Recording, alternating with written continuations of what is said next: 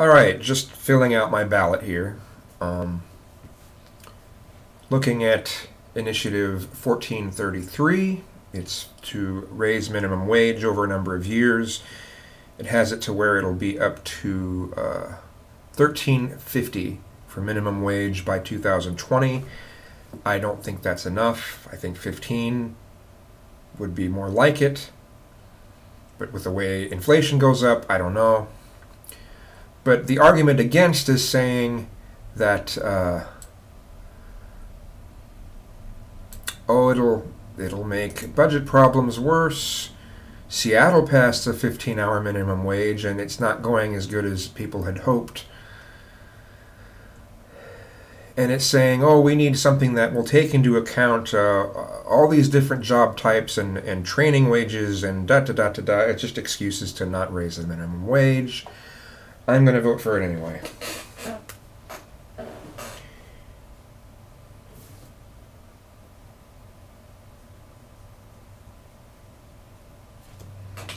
So, now we got Initiative Measure 1464. This measure would create a campaign finance system, allow residents to direct state funds to candidates, repeal the non resident sales tax exemption, restrict lobbying employment by certain former public employees, and add enforcement requirements. I don't understand what this one does. Um, you know, I'm being lazy. I'm going to argument for and argument against. So, okay, big money interests and lobbyists have too much control over a political system, while regular people have very little. Initiative 1464 implements concrete, achievable reforms to make politicians and government more accountable to the people. Initiative 1464 sheds light on the dark money on the dark money and super PACs by requiring political ads to say who is really paying for them. That sure wasn't the way that was worded. The way that, that the initial thing was worded sounded very different than that. It requires online public reporting of lobbyist activity, spending, and compensation. Um, it limits Big Money Influence Initiative 1464 bars lobbyists and public contractors from making big campaign contributions. It stops the revolving door of government officials taking jobs as lobbyists as soon as they leave office. It toughens enforcement of ethics and campaign finance laws and strengthens penalties for those who break them. All right, and it says it empowers voters. Let's let's see the argument against.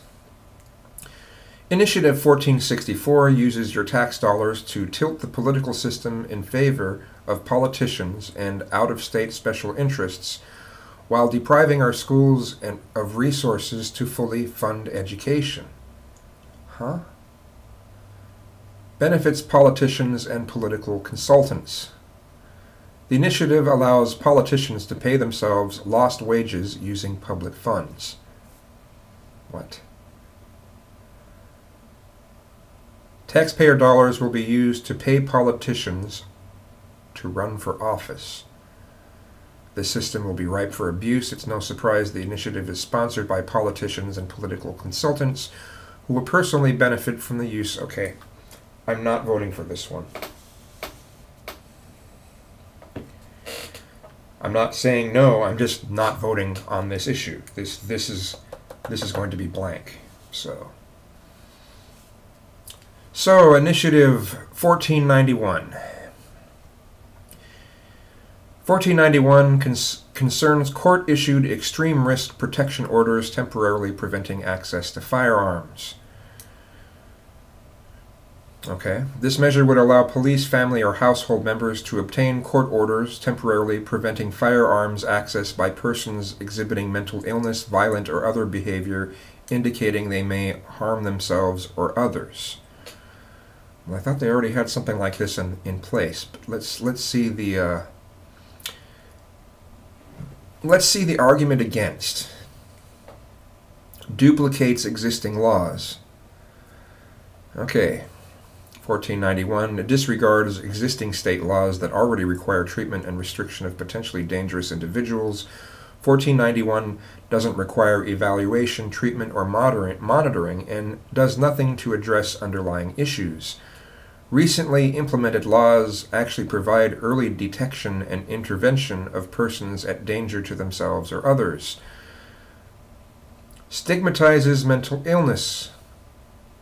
Well, I mean, I suppose, uh, you know, I I would be considered uh, mentally ill. I'm on disability for problems with that, and I probably wouldn't be eligible to get a gun, a firearm. I'm not very. I don't know if I'd want one anyway, unless things really shit hits the fan really bad. Um, let's see. Only 3 to 5% of violent acts are committed by people with serious mental illness. Uh, the, mass, the majority of people with mental illness are not violent and are 10 times more likely to be the victims in violent crime than the general population. I, you know, it, it, see, it's, it's, it's right what I thought already from the start is it duplicates existing laws. Why do we, what is the deal on this? Let's see here. Let's go back to argument for. Okay. So, it empowers families, prevents gun violence. Uh, Initiative 1491 empowers families and law enforcement to prevent tragedy, giving them a chance to remove guns from a dangerous situation when they know someone is a threat to themselves or others.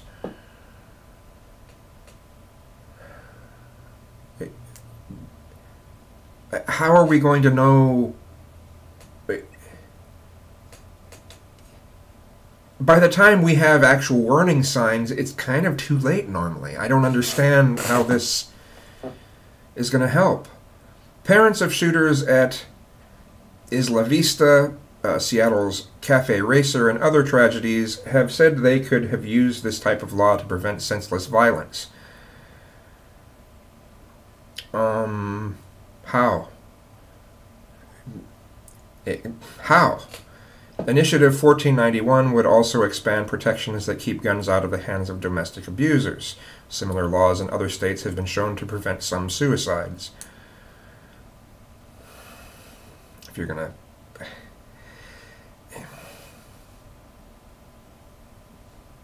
I mean, part of this, right? I look at this issue and I'm like, well, there's there's there's generally I would think there be there is nothing wrong with uh, reasonable gun regulations, but if we already have something in place, why do we need this on top of it? Um, let's see. Due process closely follows existing process for other civil protection orders. Both parties may present evidence in court. A judge determines whether evidence of danger is sufficient and issues an order effective for one year there are criminal penalties for false petitions.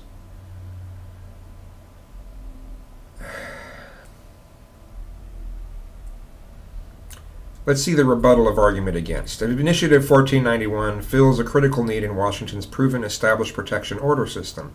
It simply gives families a tool to save lives, keeping gun, guns from loved ones who are likely to use them for violence to themselves or others.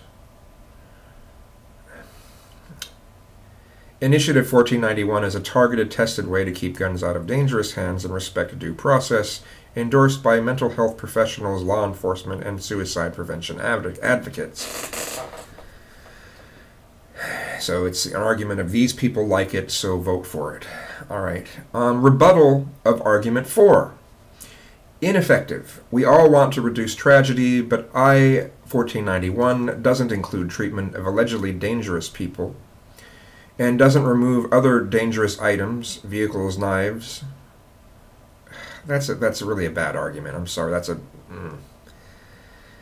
miscredited. Uh, I 1491 ignores that 95 to 97% of violent crimes are not related to mental illness. Deceptive.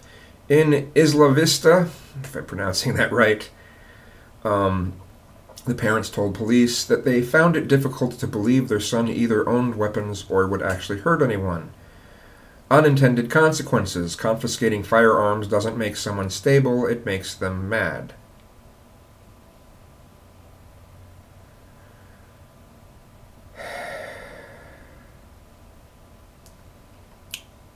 I'm not voting on this one again. Another one I'm not voting on.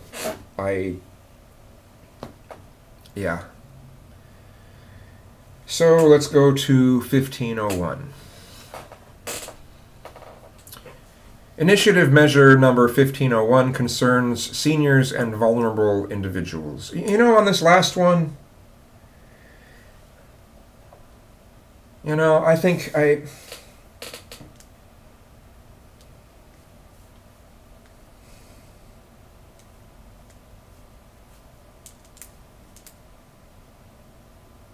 I'm just trying to think about how it could be abused. You know? How could this be abused?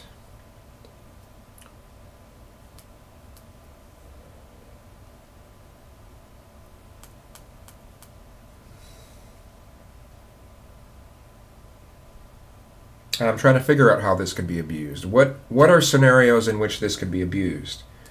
I can't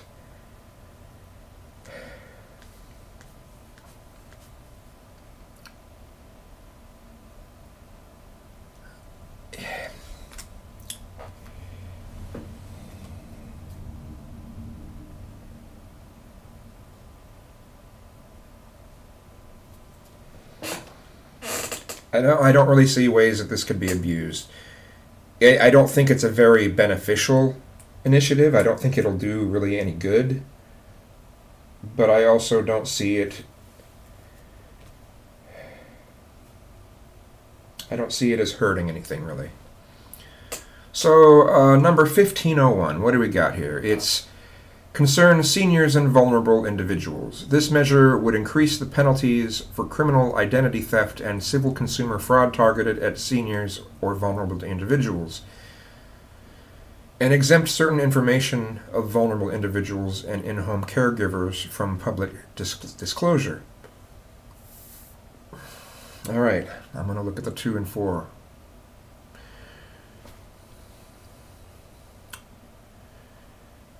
All right. Well, I'm seeing that I'm skimming through the, the four. Yeah, I, I see they're, they're giving those kind of arguments. Let's see what the argument against. Please vote Initiative 1501.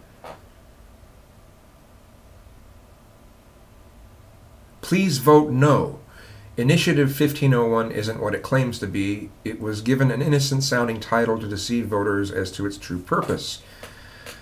Initiative 1501 is an attack on vulnerable individuals by a powerful special interest that has poured over 1.2 million into funding it.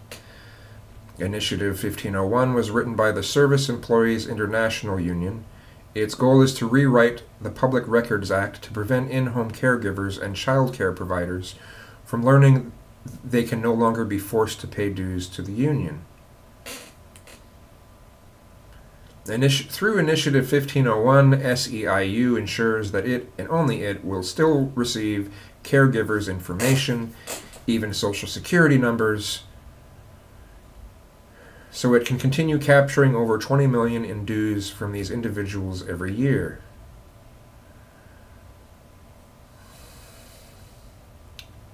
Caregivers have the right to stop paying SEIU, but the state isn't informing them of their right. If Initiative 1501 passes, caregivers will not even be able to contact each other to discuss issues of common concern. All right, let's see the rebuttal of argument against. Senior citizens, vulnerable people, and their caregivers are not special interests. When they are the victims of fraud or identity theft, they desire they deserve justice in the form of increased penalties or the perpetuators of their crimes. I-1501 will discourage fraudulent telemarketers and scam artists from profiting, profiting on our personal information and increase penalties when they do. 1501 is supported by Washington Senior State Citizens Lobby because they recognize we all still need its protections.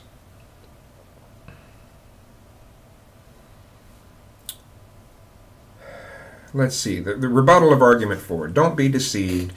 The only two caregivers who helped draft the I 1501 pro statement are SEU, SEIU activists not ordinary workers. Sorry, seems really conspiratorial. I'm voting for it.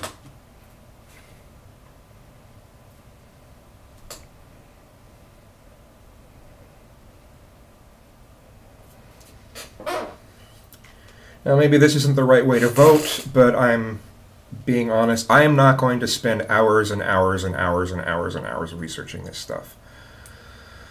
You know, I want to see, you know, what are the, the reasonable arguments for, what are the reasonable arguments against, and, you know, what happens from there. Okay. So, initiatives uh, number 732. It concerns taxes. This measure would impose a carbon emission tax on certain fossil fuels and fossil fuel generated electricity, reduce the sales tax by one percentage point, and increase a low income exemption and reduce certain manufacturing taxes. Okay, well, now I need to figure out some specifics on this because this. boy. Sales tax is imposed, imposed on retail sales of most articles on personal property, digital products, and some services. The current state sales tax rate is 6.5%, though some local governments impose their own sales taxes that make the rate paid by purchases higher. The effect of the proposed measure, if approved, this measure would create a new tax and reduce certain existing taxes. It would impose a new carbon emission tax that applies to the sale or use certain fossil fuels and electricity generated from fossil fuels. Okay, what? Let's see. A new carbon tax would start July 1, July 1st, 2017. It would apply when fossil fuels are burned in Washington. That tax would be collected by the first person or company in Washington who sells or burns the coal, oil, or other fossil fuel.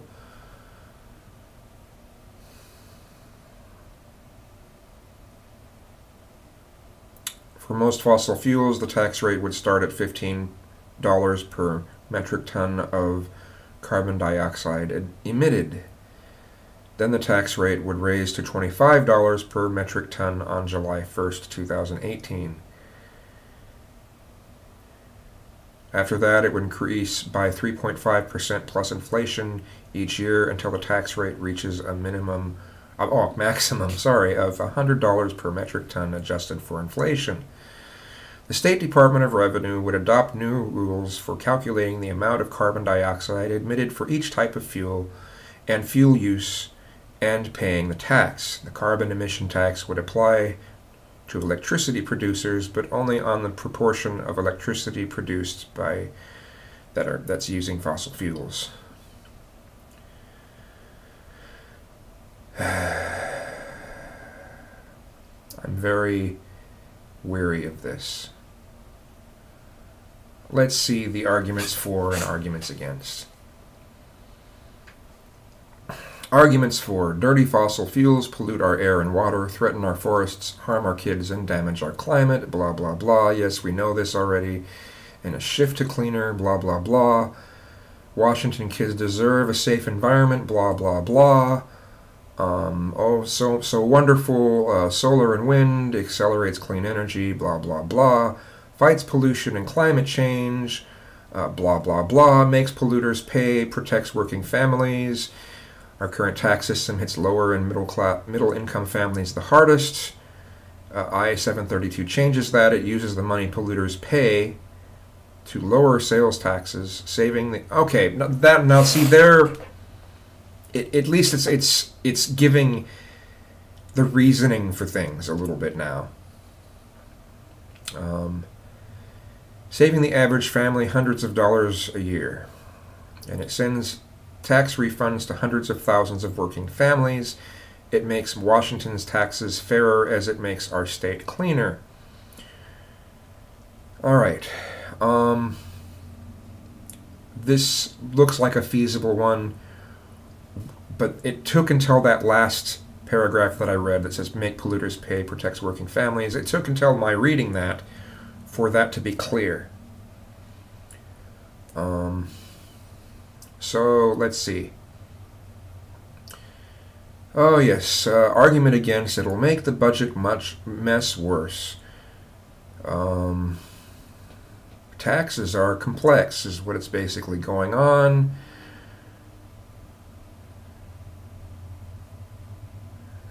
Oh, it just makes it. It makes it worse. Okay, how? It, well, it's not really. Climate policy must be comprehensive so it doesn't harm people and kill jobs.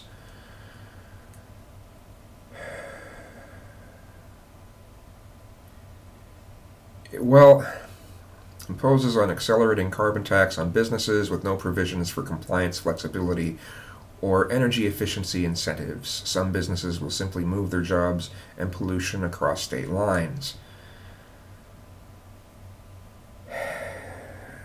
There's some truth to that. If other states pass the same thing, they're just going to. Eh. See, the problem with this is that it needs to be done um, in several other states. It needs to, it needs to be done all across the U.S. But I I think I'm going to support this because if we're making the places pay their fair share while making it easier for the middle class, um, I think that's a good thing.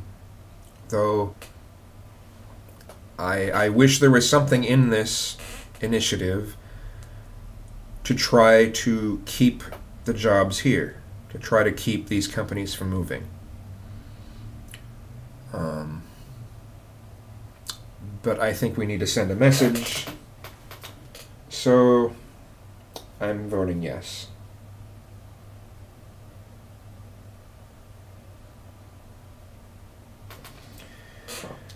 All right, so 735. Initiative Measure 735 concerns a proposed amendment to the federal Constitution. This measure, measure would urge the Washington State Congressional Delegation to propose a federal constitutional amendment that constitutional rights belong only to individuals, not corporations, and constitutionally protected free speech excludes the spending of money. Hmm. Now that sounds really, really, really good. That sounds great. Um, let's see here. The effect of the proposed measure, if approved. The measure would urge Washington's current and future members of Congress to propose a joint resolution to amend the United States Constitution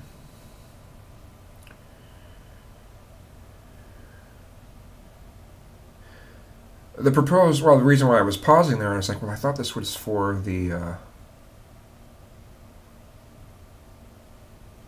hmm. Well. Uh, and some of these I thought it was mainly. I know I read I read the word federal constitutional amendment earlier on here, but um, I'm used to it just being having to do with the state constitution, not the federal. So, um, yeah, uh, let's see, argument against. Let's see. Um, Initiative 735 is a dangerous proposal to allow government censorship. This would be the first constitutional amendment since prohibition to take rights away. Silencing speech is undemocratic. Uh, money isn't speech. Citizens should have much opportunity to share and receive information as possible. Silencing certain speakers is counterproductive. Forbidding citizens from spending their money spreading their beliefs is totalitarian. Fuck you. Goodbye. Voting yes.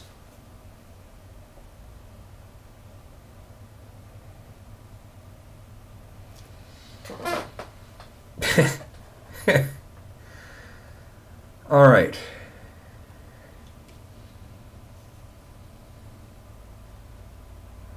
Okay.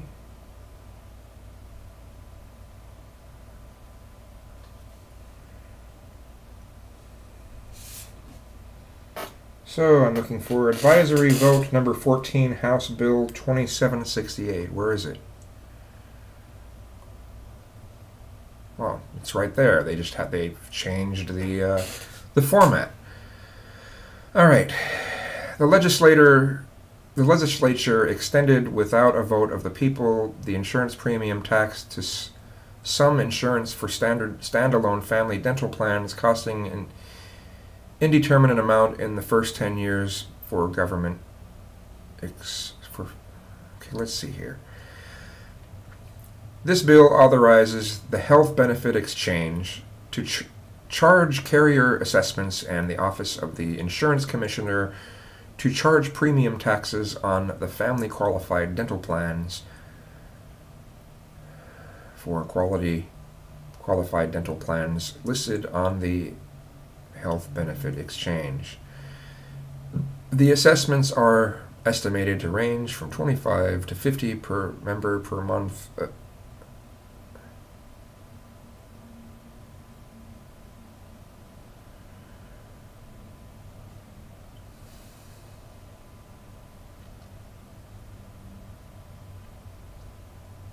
I, um,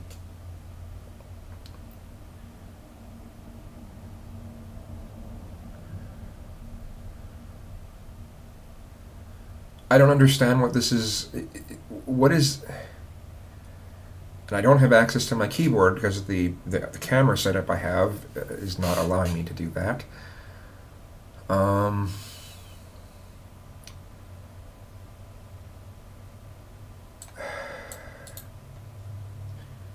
copy.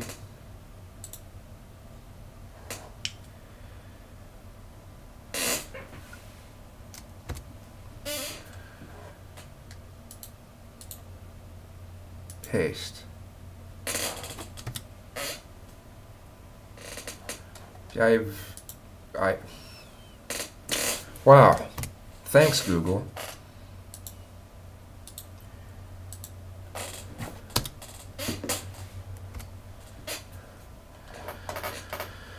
All right, what do we got here? Oh, that's an ad, so I shouldn't have clicked that one. Let's try this one.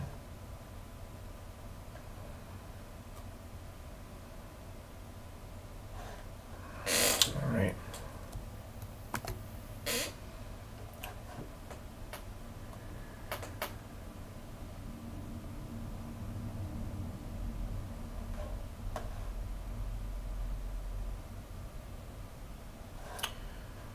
All right.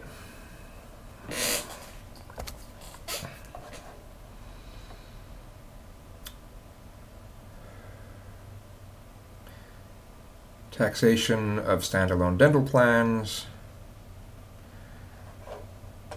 I don't think we should be taxing dental plans in general.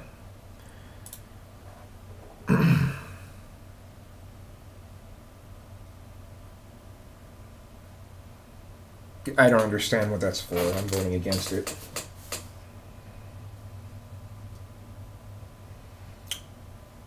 Repealed.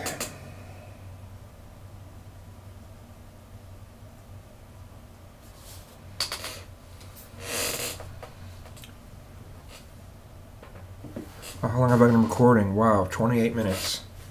Sorry, guys. All right. Second engrossed substitute House Bill 2278.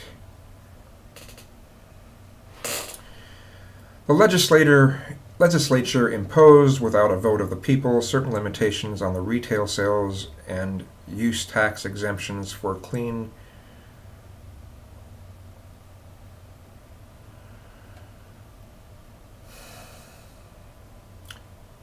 That's so generic.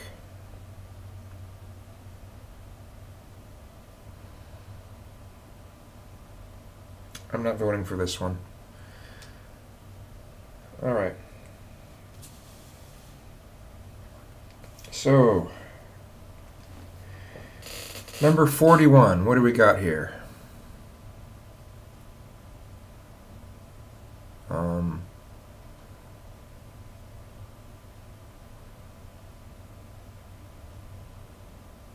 Okay, uh, I'm not seeing anything for this one.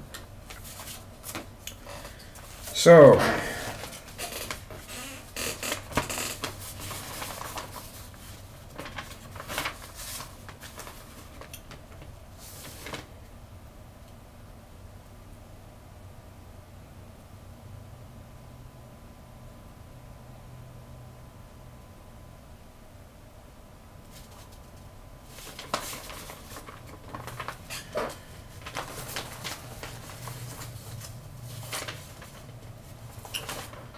Okay, well, they don't have this on this form here, so I've got to do it this way.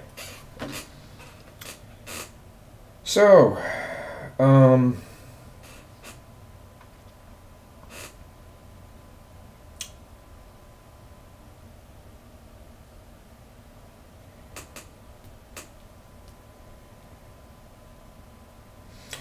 Let's reduce the number of signatures required to validate an initiative petition from 10% of the votes cast in the last election for county executive to 8% of votes cast. Should proposed Charter Amendment 41 be approved? I don't think we should. Uh, I mean, it shows.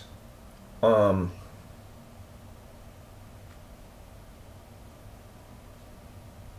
yeah, no, I, I, I'm, I'm against this one. Now, where's my pen? Where's my pen? Okay.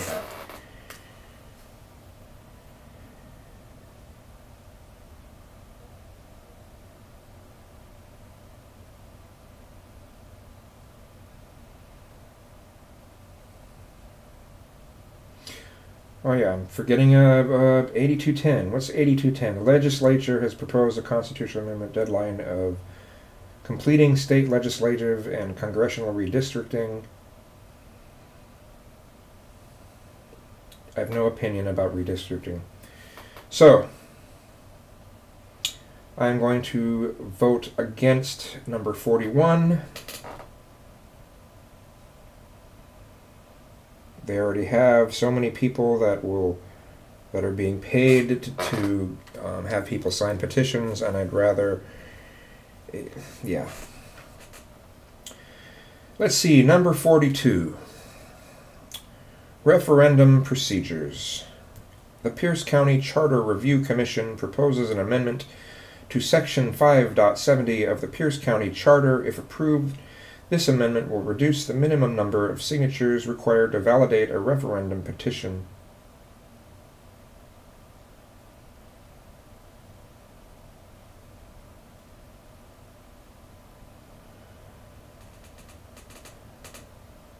Well, it's the same thing.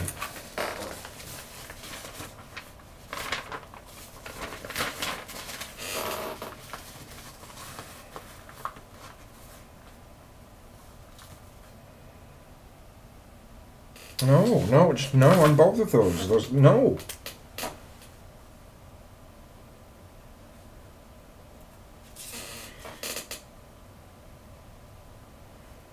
Got this thing on a weird angle.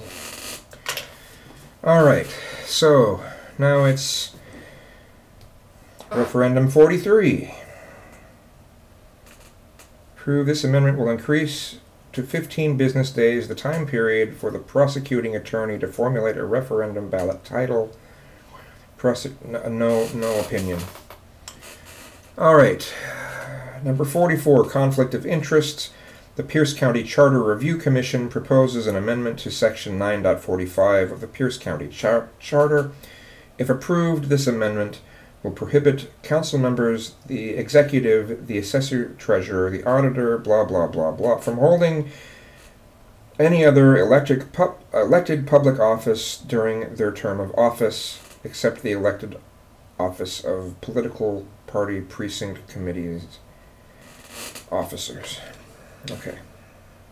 I'm not reading very well, but I'm, I'm thinking more than I'm reading, so. No, no opinion.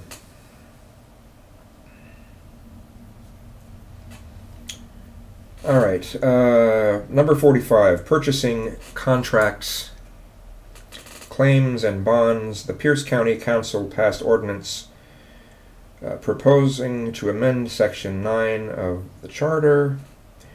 Currently provides that the county must use competitive bidding by independent contractors in all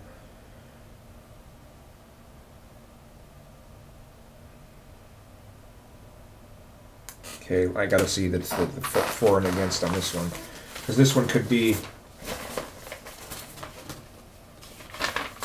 Let's see here.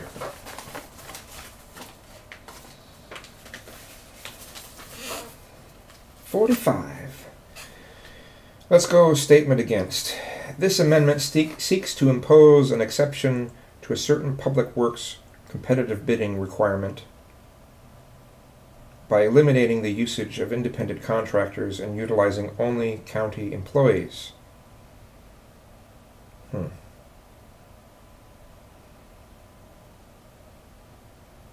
It, maybe I don't understand what this is doing. Explanatory statement. Washington law generally requires that all state, county, and municipal public works contracts be awarded following a publicly advertised competitive bidding process involving independent contractors.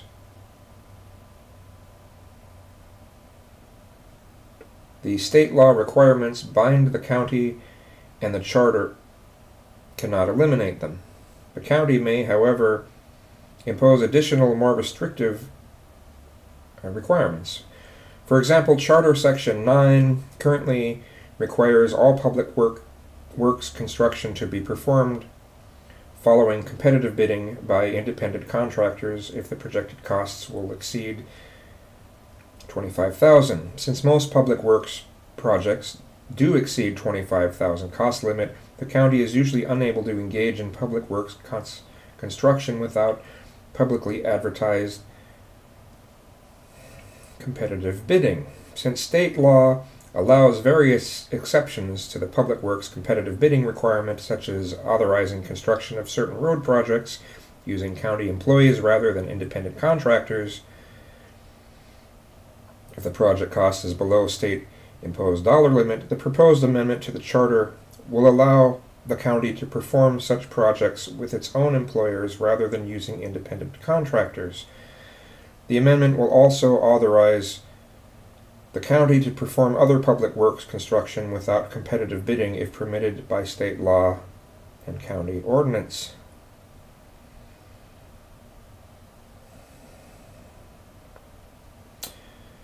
All right. Um, I'm sorry. I'm for I'm for competition. I'm voting this one down.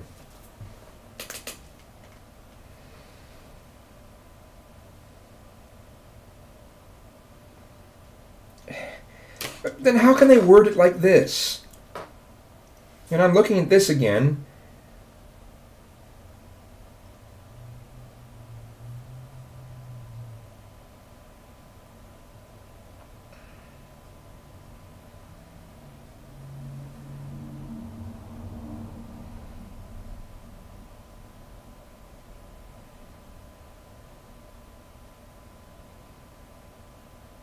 I'm going to leave this one alone because it's it's it's it's laden with ridiculous wording. And the, the the pro and the con, you know, the for and against doesn't make sense. Okay, uh, sound transit, light rail, commuter rail, and bus service expansion. I've already looked into this. I'm going to say approved.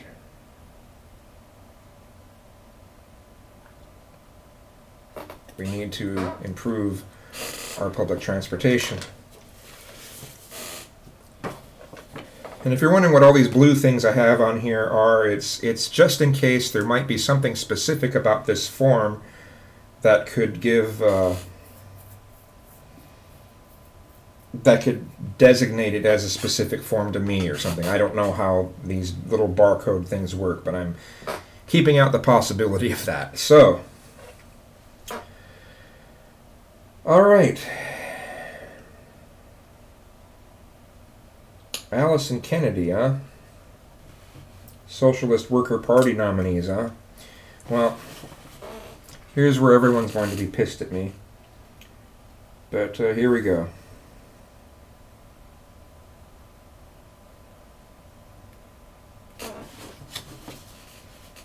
Hillary Clinton.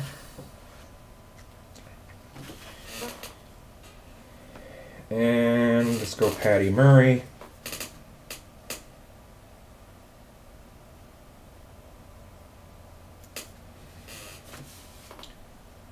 And yeah, Denny Heck. You give him heck.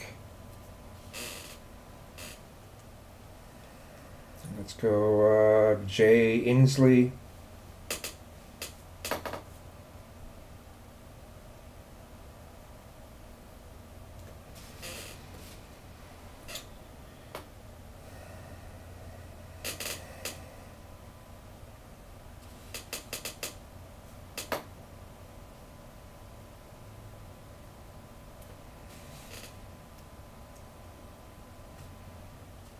Secretary of State,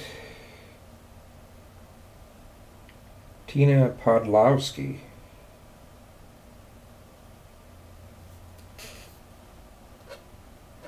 Great, I got something on the form.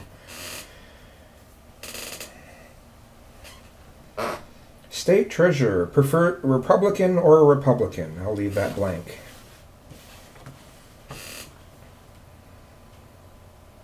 State Auditor.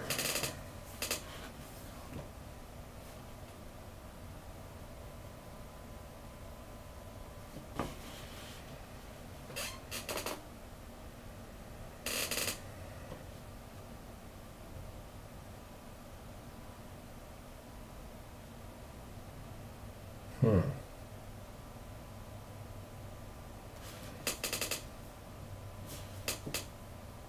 If this was a green, if it's Green Party, I would have voted, but I'm I'm going to go go Democrat on this. On most of these, I'm going to default to Democrat. Because most of the time, if there's a libertarian, it's it's almost always, yes. Let's look at this camera as if it's this camera. um, it's almost always uh, right wing. So, Commissioner of Public Lands.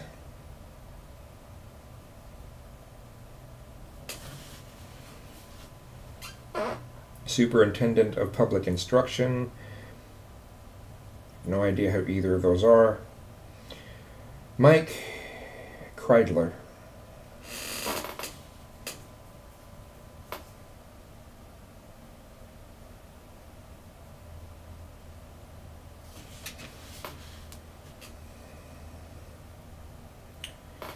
David Sawyer.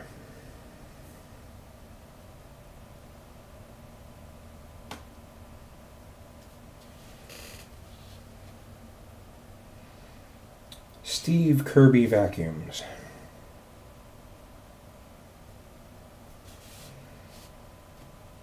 Rick Talbert.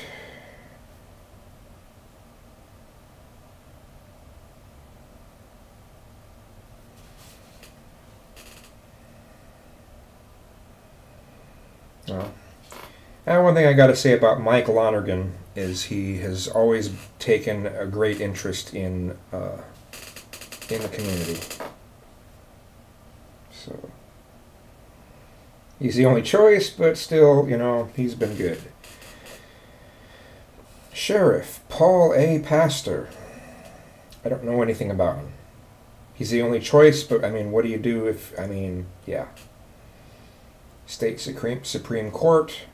I mean, I could judge these people by their names and try to go via uh, demographics or something, but I'm just not going to vote for that.